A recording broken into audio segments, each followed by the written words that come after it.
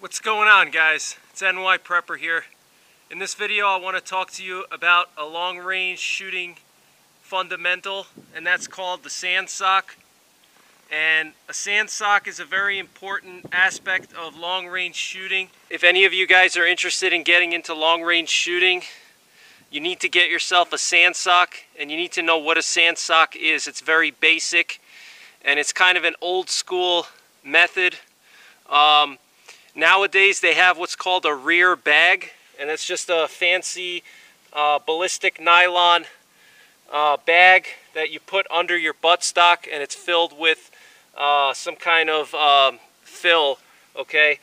But before rear bags existed, okay, before the tactical craze came on the scene, um, you know, years ago in the Vietnam War and other conflicts, uh, snipers, military snipers used to use what's called a sand sock, okay?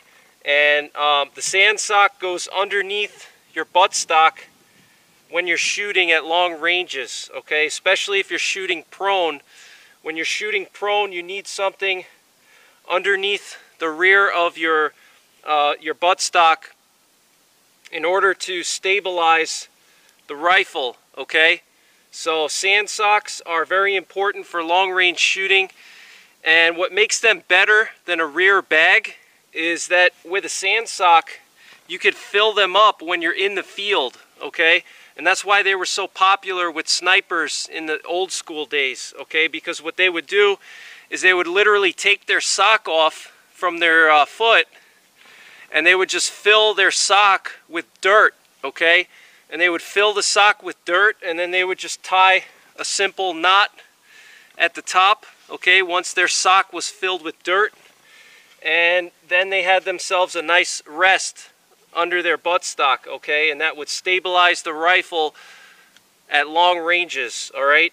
Um, and so I highly recommend that any of you guys that get into long range shooting, always carry a spare sock in your uh, range bag or um, if you're a hunter or if you're planning on uh, using a long range rifle after SHTF, you want to carry a spare sock or two inside of your assault pack, okay? Because you could use this sock as a rear bag, okay? And that's what a sand sock is, okay? It's literally just a sock filled with sand. That's why it's called a sand sock, okay?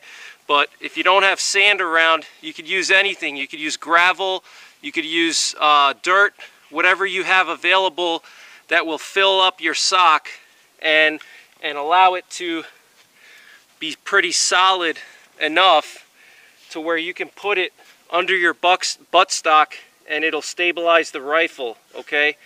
And the nice thing about a sand sock that's uh, better than a rear bag is that with a sand sock, what you can do is you can squeeze the sock to lift the rifle up, okay?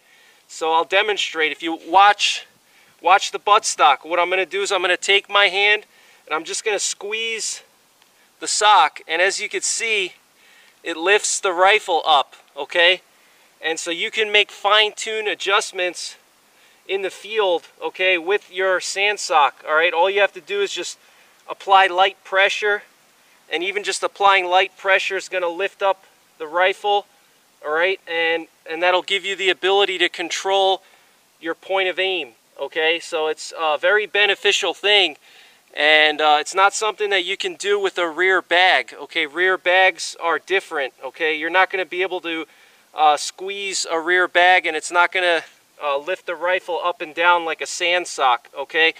So um, you know get yourself a few spare socks. You can go to Walmart.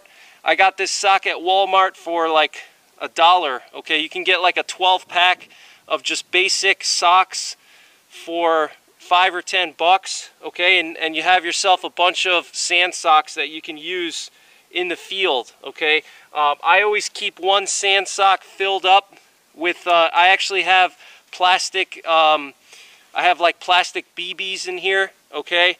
Um, that's what I always have in, in this one, but I always keep a spare sand sock that I can use in the field and I can fill this with dirt, or gravel or anything in my surroundings, okay? And, um, you know, if we're talking about SHTF or even long range hunting, you know, rather than having to drag around a rear bag, which is going to weigh an extra two or three pounds inside of your pack, you can just carry a spare sock when you get to your location, your your final firing position, or um, you know, once you get to your your hunting area, you can fill up your sock with dirt from the surrounding area, and uh, that'll function as your rear bag. Okay, so sand socks are a very basic aspect to long range shooting, especially shooting in the field. Okay, I'm not talking about bench rest shooting. I'm talking about shooting long range in the field if you're hunting or if you're in a SHTF situation and you want to deploy your uh, long range precision rifle against some marauders or something like that. Um, having a sand sock is absolutely essential and um, they're so cheap. You know, get yourself a bunch of socks uh, throw one or two socks in your backpack, okay, your assault pack or uh, whatever backpack you plan to use, um, and just keep them in there. And you can fill them up with dirt or gravel, whatever. All right, so that's pretty much it for this video, guys. Stay tuned to my channel for more long-range shooting videos. And as always, take care, God bless, and don't forget the three P's. Prepare, practice, and persevere.